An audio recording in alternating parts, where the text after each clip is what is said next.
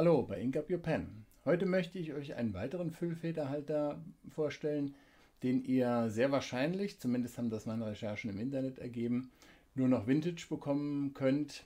Ähm, vielleicht noch New Old Stock, das wäre noch die Möglichkeit. Aber selbst der Hersteller hat ihn auf seiner Website nicht mehr. Es handelt sich um den Laban Checkered Flag. Da gibt es mehrere Ausführungen. Die Ausführung, die ich euch vorstellen möchte, ist die Ausführung Large. Und wie immer will ich euch den Füllfederhalter beschreiben, werde ich ein bisschen was zu der Firma erzählen, falls ihr die nicht kennt. Dann machen wir Maße und Gewichte. Danach machen wir eine Schreibprobe. Dann erzähle ich euch wie immer, was mir gut gefällt, was mir weniger gut gefällt. Und zum Schluss ziehen wir ein Resümee und ich sage euch, ob ich mir wieder kaufen würde und wo ihr ihn vielleicht noch finden könnt. Dann lasst uns loslegen. Ja, so sieht die Kiste aus, die ich bekommen habe. Ich habe äh, die über eBay Kleinanzeigen gekauft. Der Füllfederhalter kostet im Internet ungefähr 200 Euro, vielleicht auch etwas äh, drüber. Ich habe ihn zumeist nur in den USA gefunden und ähm, er ist relativ selten und schwer zu finden. So sieht die Kiste aus. Hier gehört normalerweise noch so ein weißer Pappschuber drumherum, aber der war nicht mehr dabei. So, also recht unscheinbar. Wenn man sie aufmacht, dann ist hier drin eine Hülle für einen Füllfederhalter. Die ist jetzt hier ein bisschen staubig. Ich habe ihn schon einige Zeit in Gebrauch und wir haben auch Katzen zu Hause. Insofern kann da schon mal das eine oder andere Katzenhaar mit dran sein. Aber hier seht ihr nochmal Laban, der taiwanesische Hersteller, 1981 gegründet, hat ähm, viel ich sag mal, versucht Geschichte zu schreiben, sich auch zu etablieren. Der Papst hat äh, mit einem Laban Füllfederhalter geschrieben und äh, ja, man versucht halt so ein bisschen sich auf dem Markt mit diesen Aktionen dadurch äh, zu setzen und Bekanntheitsgrad zu erlangen, weil wie gesagt 1981 gegründet ist ein relativ junger Hersteller. Also dieser Samtbeutel ist hier dabei, den legen wir jetzt mal an die Seite. Dann kommt hier diese Kiste zum Vorschein. Ich drehe sie mal rum, weil man kann sie hier vorne wegklappen. Das ist eine Pappkiste. Da ist so ein äh, dünner Fließstoff drauf. Und dann kommt eine wunderschöne schwarz lackierte, äh, glänzende Holzkiste zum Vorschein. Da seht ihr auch drin äh, gleich, wie sich meine Kamera darin spiegelt. Also die ist äh, wirklich sehr, sehr schön, diese Holzkiste. Wir nehmen sie mal raus, stellen den Rest mal an die Seite. Jetzt habe ich das hier eingeklemmt. So, das geht an die Seite. So, diese Holzkiste ist äh, auch völlig unbeschriftet, hat unten einen Samtboden. Hinten dran sind Scharniere, also auch sehr stabil, recht schwer. Ich klappe sie einfach mal auf. Und dann seht ihr hier den Laban Checkered Flag Large. Wenn wir hier in die Innenseite gucken, ich drehe das nochmal so ein bisschen rum, seht ihr auch hier nochmal beschriftet das Laban-Logo. Das spiegelt hier alles ein bisschen, der Füllfederhalter, aber ich glaube, man kann es hier so ganz gut, ganz gut erkennen. Okay, dann kann man auch also erstmal den Füllfederhalter herausholen. Da haben wir hier das Laban-Logo nochmal drauf. Das ist ja an dem Clip dran gewesen. Dann kann man hier auch, ich lege den erstmal zur Seite und ziehe das Logo mal ab, den Boden nochmal rausholen. Da ist jetzt hier bei mir nichts drunter. Hier ist so ein, so ein Papier. Das Ganze ist so ein samtiger, weicher Stoff, damit der Füllfederhalter gut geschützt ist. Da sollte eigentlich noch drin sein ein Konverter und eine Beschreibung. Die waren jetzt in meinem Falle nicht mehr mit dabei, aber wie gesagt, er ist nur Secondhand zu bekommen. Insofern, der Zustand des Füllfederhalters war hervorragend. Äh, da kann man hier aus meiner Sicht ein paar Abstriche machen und darauf verzichten. Äh, beim Konverter ist es sowieso kein Problem. Der Füllfederhalter verwendet normale Standardpatronen, das heißt also auch jeder Standardkonverter kann hier Verwendung finden. Okay, dann machen wir die Box wieder zu stellen alles nebendran und dann werden wir uns mal den Bestandteilen des Füllfederhalters zuwenden. Ja, das ist er, der Laban Checkered Flag Large. Wie gesagt, für Rennsport-Enthusiasten wohl hergestellt. Die Startflagge soll es symbolisieren. Und da fangen wir auch gleich mal damit an, mit diesem Muster Checkered Flag. Ich habe mir die Laban-Seite mal angeschaut und habe dort verschiedenartigste Füllfederhalter gefunden. Und vielleicht denkt man auf den ersten Blick, das ist ein Acrylharz-Füllfederhalter, aber das ist es nicht.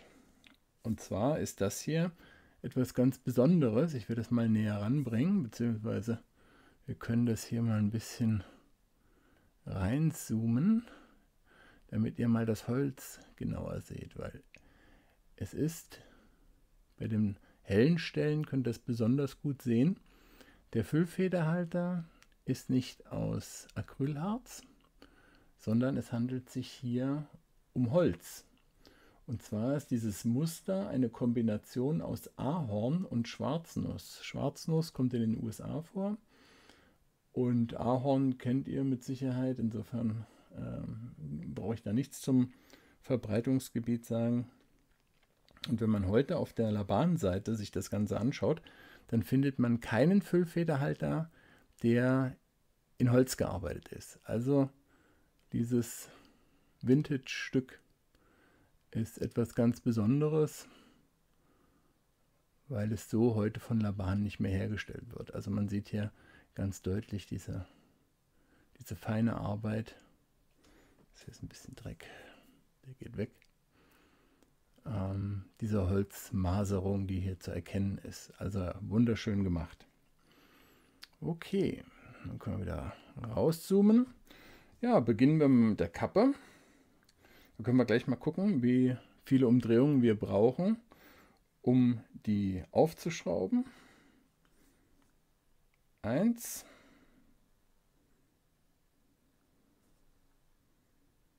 Zwei. Zwei und eine Viertel Umdrehung und dann ist der Füllfederhalter offen. Legen wir den erstmal nebenhin. Kommen wir gleich dazu. Ja, unten an der Kappe haben wir das Kappenband hier unten.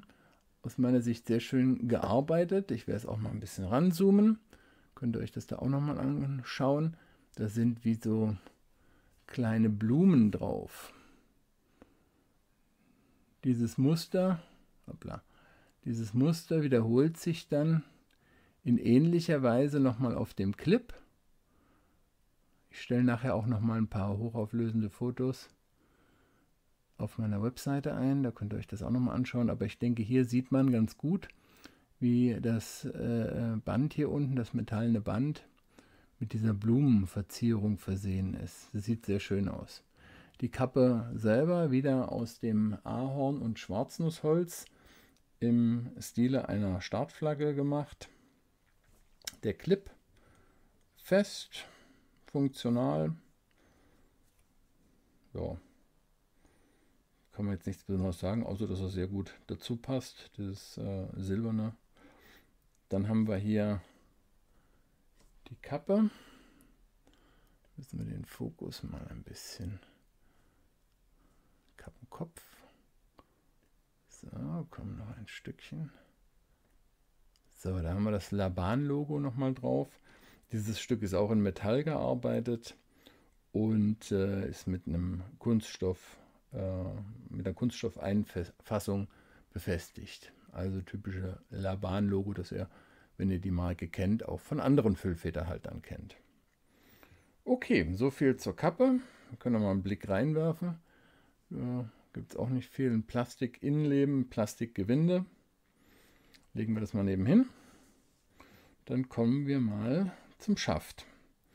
Der Schaft, jetzt müssen wir hier den Autofokus wieder nach unten ziehen, sonst wird das hier nichts. So, der Schaft auch wieder aus diesem wunderschönen Ahorn- und Schwarznussholz gefertigt.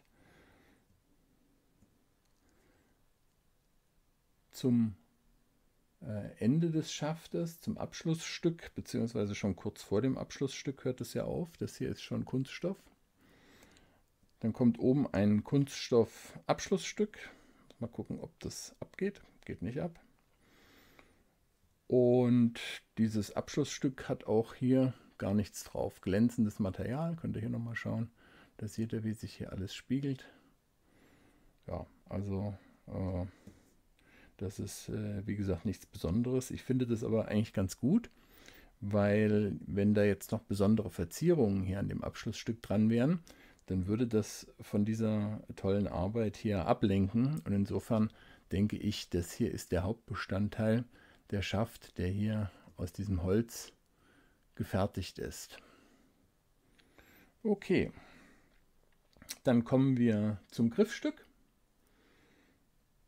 Drehen wir uns mal um. Hinten drauf am Griffstück der Tintenleiter, nichts Besonderes. Griffstück ist aus Kunststoff mit Kunststoffgewinde, auch hier nichts Besonderes. Schauen wir uns die Feder mal ein bisschen genauer an. Ein bisschen reinzoomen. So. Da steht man, sieht man es schon. Gucken, ob wir das noch ein bisschen besser hinbekommen. Laban, Iridium und M. Und nochmal das L fürs Laban-Logo. Also das ist eine M-Feder, ist eine Stahlfeder, soweit ich das erkennen kann. Das Logo ist drauf. Ja, sieht sehr schön aus, ist recht groß, diese Feder. Im Internet äh, auch äh, kleinere Federn gefunden, aber das ist eine recht große Labanfeder. Auch gebrandet. Okay, so dann nehmen wir das Griffstück mal, trennen wir mal vom Schaft. So, ich habe jetzt hier einen ganz normalen Konverter eingesetzt. Ähm, das ist jetzt auch nichts Außergewöhnliches. Ihr seht hier drin, äh, jetzt kann man jetzt nicht so richtig gut erkennen, da muss ich mal den Zoom wieder zurücknehmen. Da seht ihr hier drin ein Gewinde, Kunststoffgewinde. Hier unten haben wir ein Metallgewinde, also Kunststoff auf Metall. Okay, ja, wie gesagt, ein ganz normaler Konverter drin. Ähm, es ist auch nicht der Originalkonverter. Wie gesagt, der war bei mir leider nicht mehr dabei, aber es passt ein handelsüblicher Konverter. Ihr seht schon, ich habe hier äh, den Füllfederhalter mit Tinte befüllt. Gucken wir das alles noch mal ein bisschen hier für euch ins Bild. Ja, hier ist es noch nicht ganz im Bild. So, jetzt haben wir es fast. Zack, zack, zack. Okay, so sieht das doch ganz gut aus. Also, kommen wir mal zu den Maßen und Gewichten. Fangen wir mit dem Gewicht an. So wie er hier vor euch liegt, befüllt und mit Konverter, wiegt er 44,7 Gramm. Das ist ein recht kräftiger Füllfederhalter. Ich liebe kräftige Füllfederhalter. Er misst 13,1 cm ohne Kappe im geschlossenen Zustand misst er 14,5 cm. Und wenn man die Kappe aufsteckt, dazu muss ich mal kurz zusammenbauen, das geht also auch, wer das von euch mag.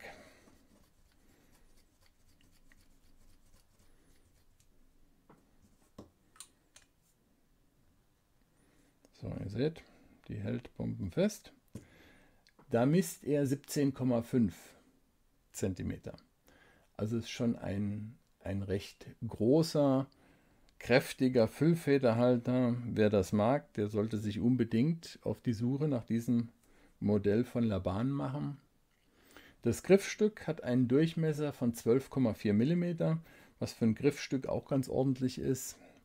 Man muss es mögen. Manch einer liebt einen schlanken Füllfederhalter. Ich finde diese großen, kräftigen Füllfederhalter sehr, sehr schön. Also für mich ist es genau das Richtige. Und äh, deswegen kann ich absolut nur sagen, das ist, der liegt super in der Hand. Er, er ist äh, ein super Stift für den, ein super Füllfederhalter für jeden Tag.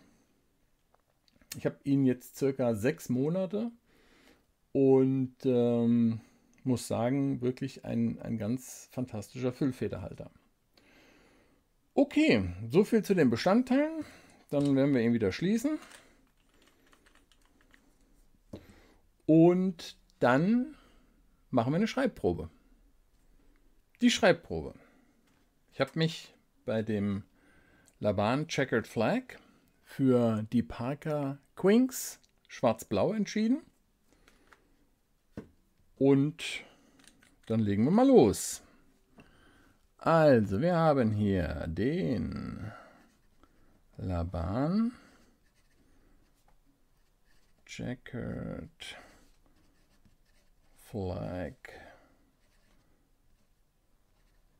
Large.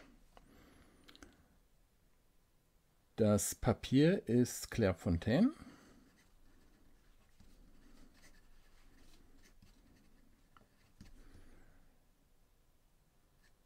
DCP 160 Gramm. Und dann könnt ihr euch mal anhören, wie sich die Feder übers Papier bewegt.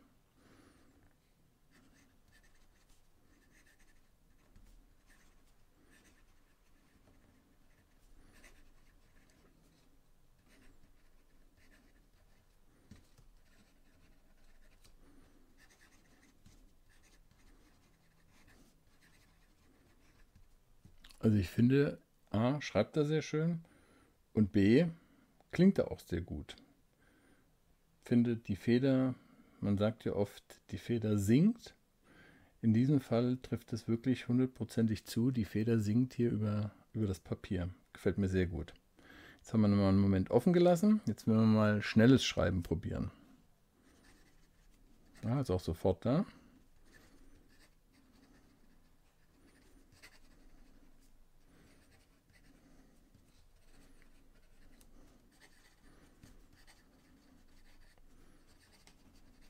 Also auch hier keine Einschränkung. Schieben wir das mal ein bisschen höher. Wenn wir mal verkehrt herum schreiben.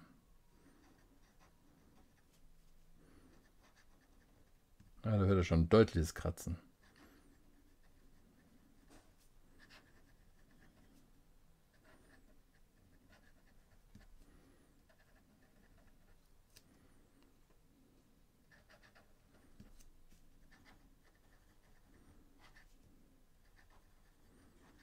Er hält durch, aber das ist dann, würde ich mal sagen, eine extra feine fast schon. Hier unten. Und alles, was ich hier oben geschrieben habe, ist eine M-Feder. Also denke, das trifft auch ganz gut zu. Schauen wir mal, ob wir ein bisschen Variation hineinbekommen. Ganz vorsichtig. Ja, nein. Also da ist nicht viel rauszuholen aus dieser Stahlfeder. Dann gucken wir mal. Die Parker gilt ja nicht unbedingt als sehr feuchte Tinte. Mal gucken. Ja, bestätigt sich hier auch. Also äh, Tintenfluss ist absolut ausreichend, aber es ist kein besonders feuchtes Schreiben. Ja, so viel zum Schreibtest. Und dann werde ich euch als nächstes erzählen, was hat mir gut gefallen, was hat mir weniger gut gefallen. Und dann werden wir ein Resümee ziehen.